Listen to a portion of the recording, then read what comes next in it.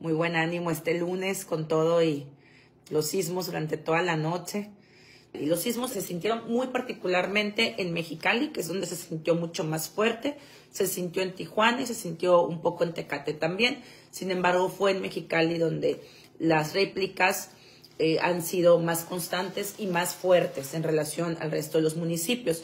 Estamos en alerta amarilla.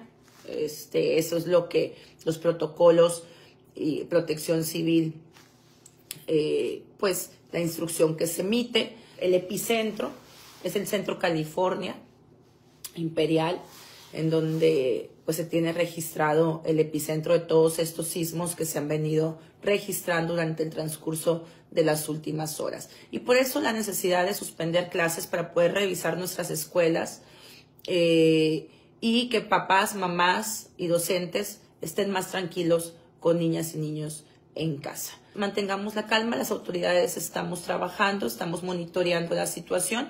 Eh, la alerta amarilla es durante 24 horas y eh, pues vamos a estarles informando y actualizando en todo, en todo, en todo momento.